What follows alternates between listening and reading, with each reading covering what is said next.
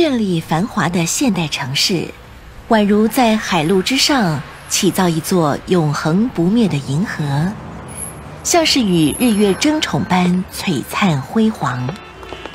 人们努力着让这座安身立命的城市闪耀出快乐的光芒。然而，太阳底下的世界，谁家不是悲欢离合、沧桑变异的呢？倒是在这城市的近郊，有一处青森幽静的山林，林间隐约有座寺院。长长的廊前，桃花开得简净。檐下燕子双飞，不知是谁吹来一缕悠长的笛声，更衬托的眼前景物粒粒分明。在日光辉映下，这儿的一瓦一木，仿佛都要说起法来。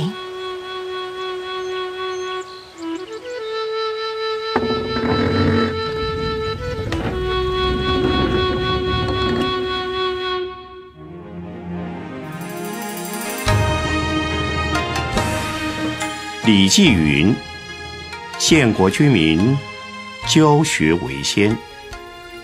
古圣先王教化施设，无不以伦理、道德、因果三者为教育纲领。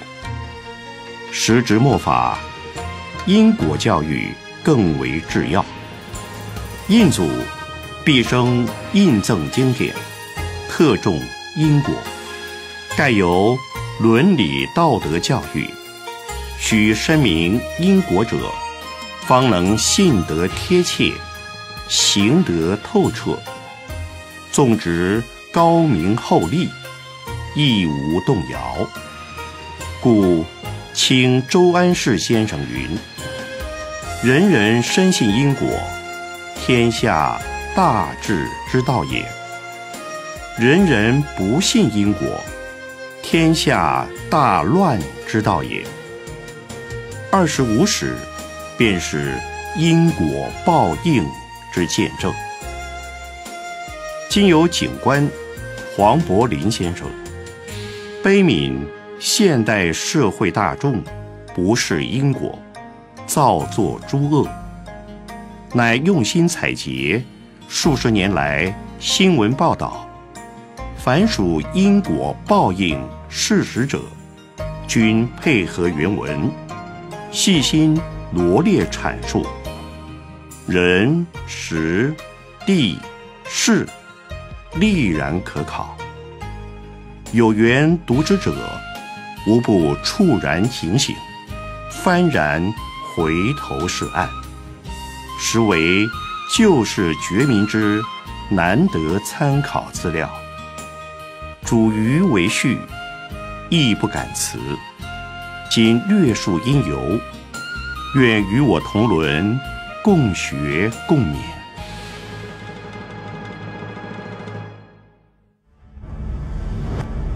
缘起，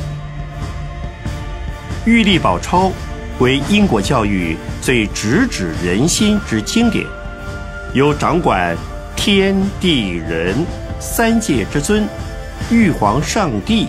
颁布公开，是最生活化、最完整的修行基础法典。今有玉皇上帝信众、佛教善男子、三龙菩萨弟子发愿，以动画重现世人，以利世人方便快速明白玉历宝钞内文。承蒙台湾八处玉帝慈悲应允。历时三年，经历种种艰辛，于公元二零一五年三月五日，终于重现玉历宝钞。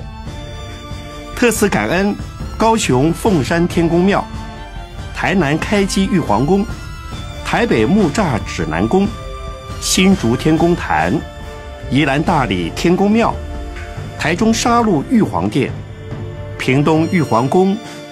高雄白玉宫，诸位玉皇上帝慈悲护佑，方成此志。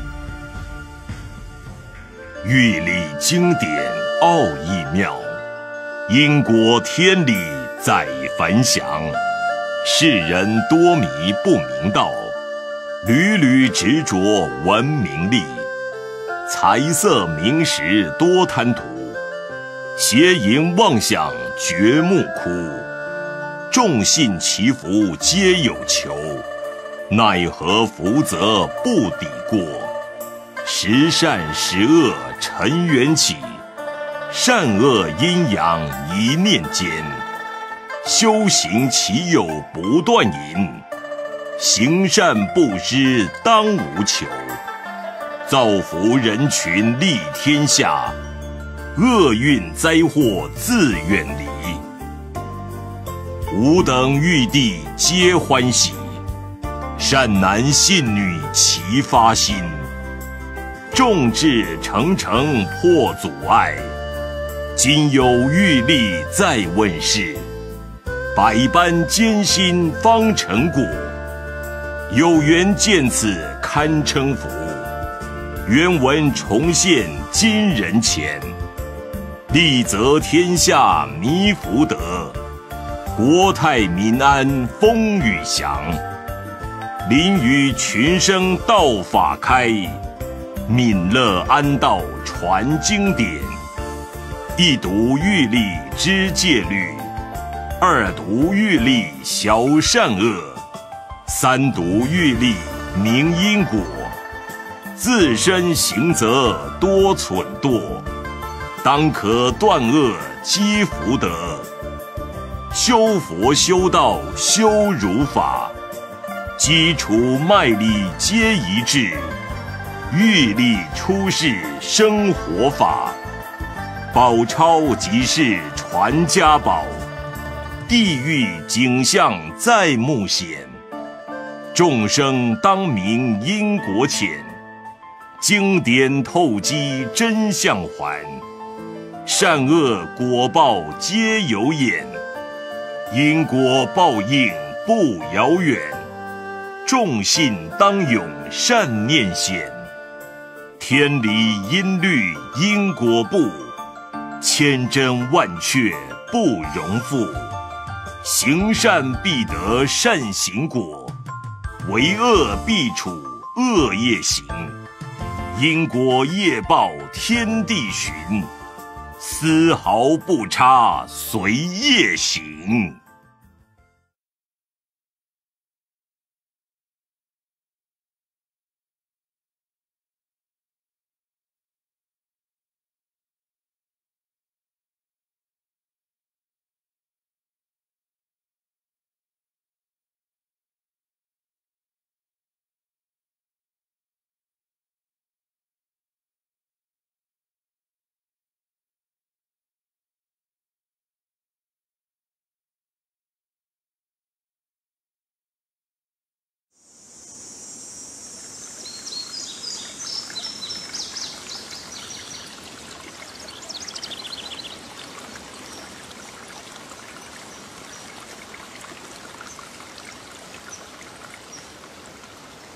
哥哥，你今天好像不太开心哎，你不是来陪我玩的吗？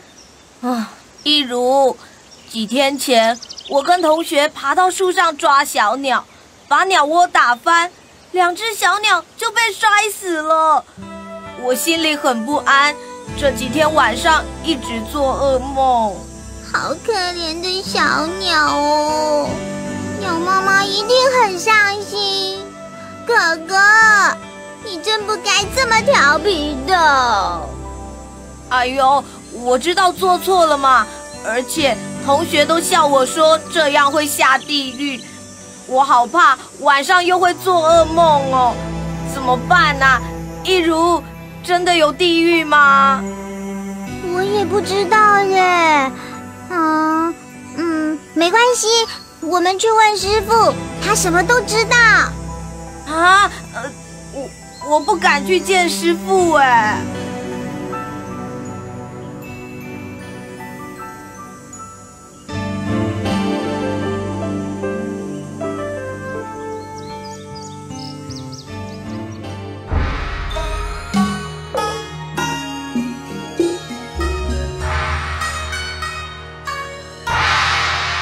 傅，哥哥前几天调皮，爬到树上抓小鸟，害小鸟摔死了，这样会下地狱吗？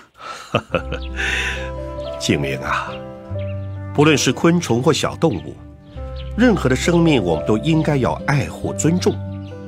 你的调皮，造成其他生命的痛苦，也让自己良心难安，是不是害人害己呢？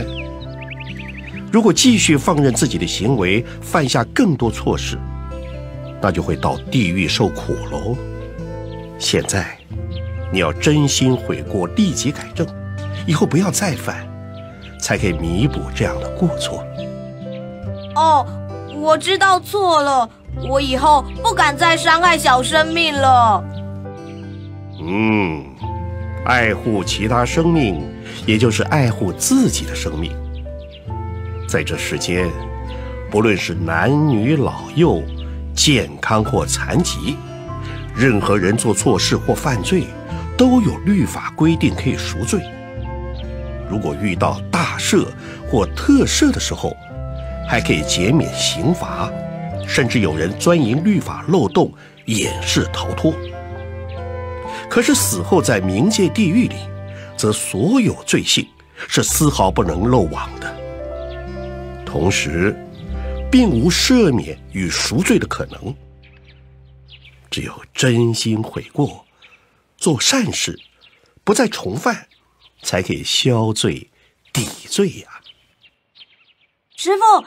这样听起来是真的有地狱喽，师傅，地狱是什么样子啊？阴间有地狱存在的情形，就像是这世间有监狱一样的道理。在阳世间犯罪之人需到监狱服刑，而人死后一切功过也有阴司去判定。许多经典上也都告诉我们地狱存在的事实。好，你们认识我身后这尊菩萨吗？我知道是地藏王菩萨。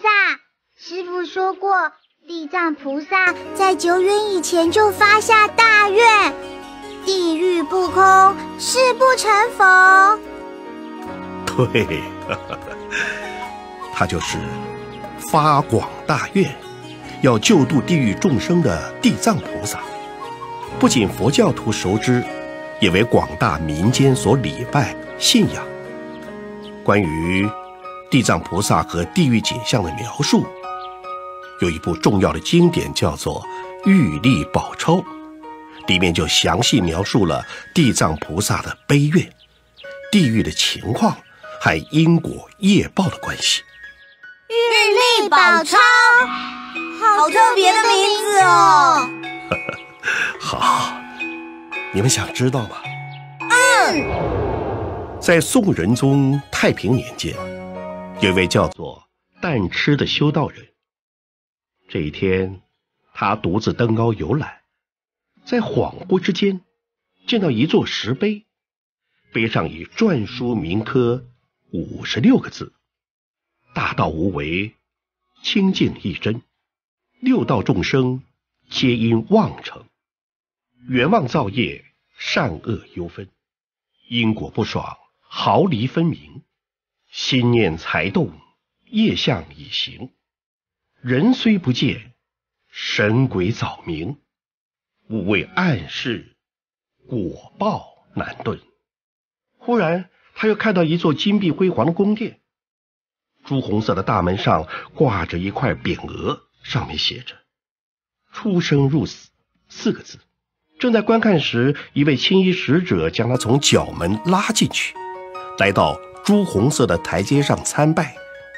拜后退立阶下，原来是十殿阎君，带着各鬼判来到殿庭中，向主宰阴司的丰都大帝祝寿。慈悲的地藏王菩萨发愿救度所有阴间的鬼魂，在与阴司诸神言议后。恩准所有鬼魂，在世虽曾犯错，如果真诚忏悔改过，则所有罪业可以从宽抵罪，免于受诸苦刑。此项恩典诸神已经汇集，奏达玉皇大帝。玉帝降旨，篡集记载于玉历之中，施恩通行下界，客尊奉行。但是，此玉历自从颁发本殿以来，未遇到有德行的人可以托付。现在接下的但吃修行者，很可以托付于他，弘传于世人。既然已找到人，判例，请快将玉历。与诸神的语录善写成书，于是玉历便借由蛋吃道人流传到人间来。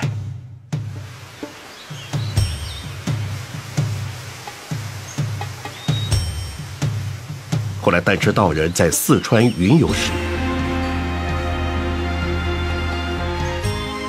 遇见有缘的弟子悟迷道人，蛋吃。见他向来有劝人行善的心意，就将玉历转授于他，并嘱咐他将玉历尽速传抄行事。悟迷道人听闻师训后，跪接此书，但知随即成道而去。悟迷道人就秉持师训，不断的抄录玉历赠人，以劝世人悔改罪业。回心向善，还好有但吃道人和雾迷道人这样有德性的人，才能到阴司将玉历传抄下来。哦，所以玉历宝钞的内容是真实的喽？当然是真实的。世间的善书，少有如此好的。此书不但有智慧的人阅读后。可以有完全不同的醒悟，即使一般人听闻其中的道理，也可以产生更加敬慎的德性，进而忏悔于以往的过错。难得今天因缘具足，也来了这么多人都对这部经典有兴趣。好，就让我们来看看《玉历宝钞》的内容吧，相信对大家会有很大的利益。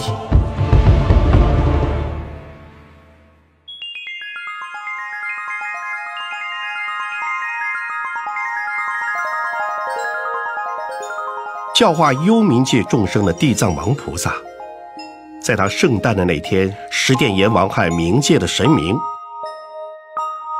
都来合掌礼拜祝贺。我本着慈悲的愿力，要来救度此道的众生，奈何世间的人行善的太少，作恶的多，这个去了，那个来，救度无有了期。看看能运用什么方法，使世人深信因果，忏悔罪性，不再造恶，力行诸善事，转心向道，才能建立生死轮回。一方面洗止地狱的业因，另一方面使阴间的众生，借着子孙后代所做的功德，很快得到超生。考察世人善少恶多的原因，不外乎由于邪恶二见之故。邪见之人，一种是执着断见的想法，以为人死之后便一切毁灭；一种是执着常见的想法，误解人永远出生为人，畜生永远出生为畜生。因此，自私自利、无所忌惮的行恶，或者将其他众生当作是自然的牺牲品，造成弱肉强食、残杀争夺等恶因恶果。恶见之人，则为了随顺自己心意，欺昧良心天理，自意而为，倡导许多邪说，教唆盗窃，引诱邪淫。或不信因果、鬼神，引导他人进入错误邪恶之境，障碍他人进入良善之地，造成共业的大灾难。现在我们预计，将地狱道中的种种痛苦与恐怖，借着有德行的人，引导他进入阴间，亲眼目睹并记载下来，完成《玉历宝钞》一书。回到人间，广为宣扬，积极的劝化世人。假如有知道过错、诚心忏悔、发誓永不再犯、力行向善的人，准予从宽量罪，减少刑罚，或功过相抵，免予罪行。如有兼善天下、推广教化的人，即使曾犯恶行，也将化解前罪，抵免罪行。若仍与有善功，自然很快的获得福报。若能进一步皈依，恭敬佛法僧三宝，精勤的修持，则每日二十四小时中，诸佛菩萨必慈家护佑，护法善神亦必守护。在世时不受祸害侵犯，寿终必往生极乐净土。就这么做，就这么做，善哉善哉。在八月初三这一天，十殿阎王与冥界诸神又将所拟好的奏议奏成玉皇大帝。很好。很好，往后各位神明要仔细鉴察。假如有人发誓愿意改过向善，在生时忏悔改正一件过错，不再触犯，准予赎去两个罪行。假如忏悔改过例行不犯，多达五件，所有的罪行一概予以赦免。男子。必定投生福德之地，妇女可以转为男身。如能改过向善，超过五件的话，还可准其替祖先修福，超度眷属的亡灵，脱离苦恼。你们快快将所奏的各条律法编纂记载于玉历上，通行下界的城隍神、土地神。门神、灶神、众神鬼等之道，诚敬遵守此旨，一律谨慎严格的奉行。